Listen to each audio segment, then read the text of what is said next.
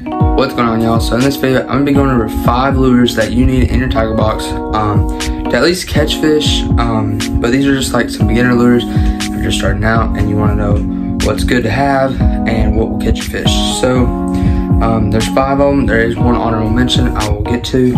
Um, but yeah, so I'm gonna go ahead and get into the first lure. The first lure is pretty much any kind of soft plastic, um, mostly any kind of soft plastic. So I've got four good examples right here. I've got some Yum Dingers, um, but any kind of stick bait will work. It's just the Yum Dingers are a cheap and affordable um, lure, lure to use, um, and they're great, great quality. Then we have like any type of creature bait. You can use these um, pretty much in the springtime when the bass are bedding, and uh, that will um, aggravate the bass to if you uh, go over a bed with it, it'll eat it because it don't want you near its bed. So um, you can use that in the spring, and the Yum Dinger you can use pretty much like all year round. Because like in the winter, you can wacky rig it and give it a slow presentation, or and any other day or any other uh, season, you can um, uh, kind of just Texas rig it and use it like that. So the next lure is um, any kind of Ned rig. If you're just starting out, um, these uh, you can get these at Walmart, but these are perfection lures. Ned rig. Um, they're pre-rigged um, Ned rigs, and you can get about seven of those for I think about uh, seven dollars, I think. But um, we also have some Zoom trick worms. These are uh, easy bait to use. This is more of a finesse um, type bait, so you you would want to use this on a spinning rod. So that's why it's kind of beginner. Um, but this is a easy thing uh, to use. Just gonna pretty much drag it across the bottom, and the pink is a good color for um, either dirty water or clear water. It's a great color and the bass will see it more and want to eat it more. So that was the um, soft plastic um, example that I have. So now I'm move on to the next bait. So the next lure is a bass jig. Um, you can use these lures all year round uh, in stained or cl uh, clear water. Um, but there's a few colors I have um, here for examples. I have a Googan Black and Blue. Um, these will work better in clear waters, um, even or uh, stained water if you wanted to. Um, then we also have a PB&J color right there. I think that's Strike King. Then we have a diesel jig. I'm pretty sure you get these at mystery tackle boxes most of the time. Um, it's a football head jig. And uh, this is like a bluegill, green pumpkin kind of color use that in clear water most of the time. And then we also have a brown and orange little mini Strike King jig. Um, these will be better for um, smaller bass, like the ones that are like less than a pound. Um, these would be really good for beginners. Um, yeah, you can use those all year round and still catch fish. So that was the second lure. Now I'm gonna move on to the third. So um, the next lure on the list is um, spinner baits. Um, these are great for beginners too. Um, they're really easy to use. Um, and you can get some Walmart spinner baits that are will be really good for beginners. They're only a dollar. Um, but yeah, I got a few examples right here. but with the spinner bait, you can use lighter colors on sunny days and clear waters and like more darker colors on cloudy days and darker waters. Um, but for examples, I have this Lunker Hunt, um, I think Terminator or something, uh, spinnerbait that's like a ghost black and white color.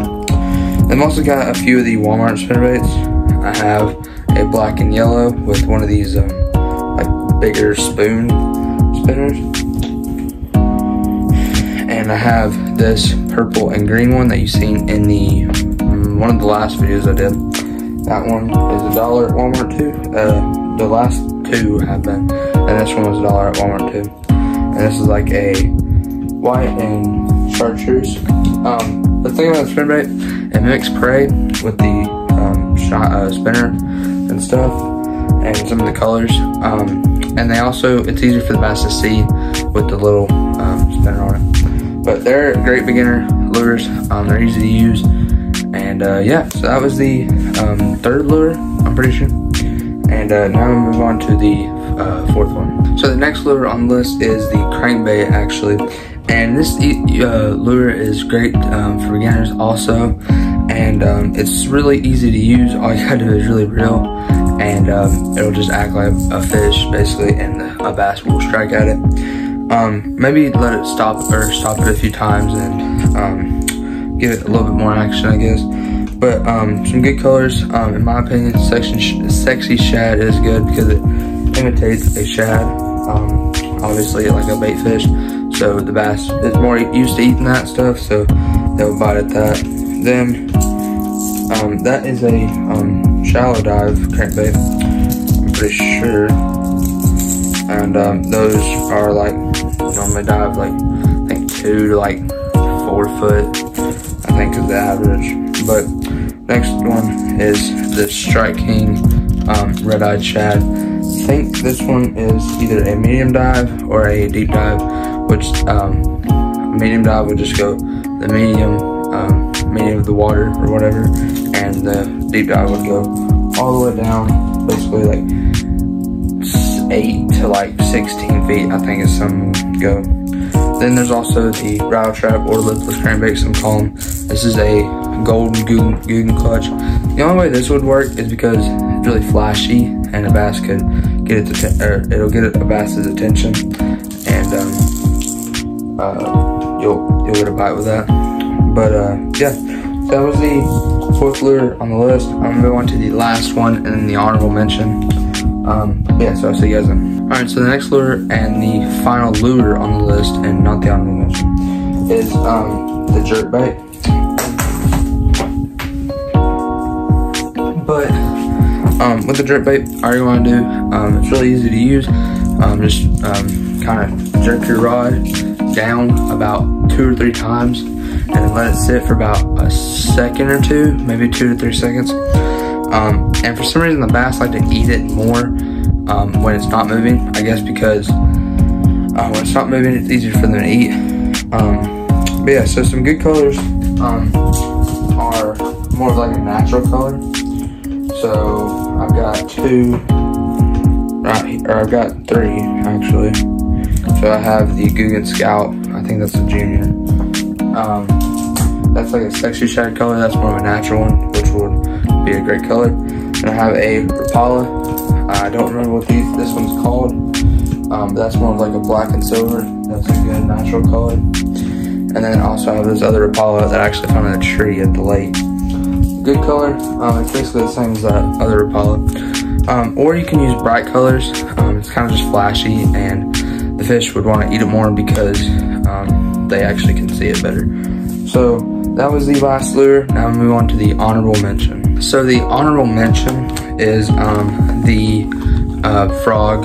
Um, in my opinion, this is probably one of the easiest top waters um, to use, um, especially the walking frog, because all you gotta do is, if you know how to walk the dog and if you know how to use a jerk bait, then basically that's all you gotta do with the walking frog. Um, it's just pop, pop like a jerk bait, um, and it just moves side to side. But with frogs, um, they obviously imitate a frog, and um, they're great to use um, on the um, with vegetation, so like lily pads and moss and all that stuff. So um, with uh, there's two types of frogs.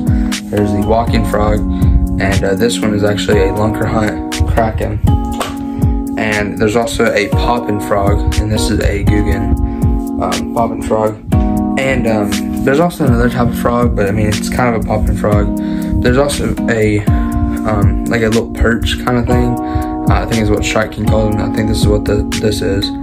Um, but it's like a little perch kind of frog or top water frog thing. Um, but yeah, so that was the honorable mention. Um, colors? Go with more like a natural or a darker color. Um, you can do bright colors, but it mainly just be the bottom that really matters. So um, if you have like a orange belly um, frog or whatever, um, those would be better because the bass can't really see the top of it, so that doesn't really matter, and I don't think. But um, the bottom mainly matters because they can see it better. Um, but yeah, so that was the honorable mention. So thank you guys for watching the video. If you did enjoy, make sure to like and subscribe and turn on post notifications so you don't miss every time I upload. And uh, if you guys are enjoying these videos and find these videos helpful, make sure to drop a comment and tell me what you thought about them. Um, but yeah, so that's pretty much it, and I'll see you guys in tomorrow's video.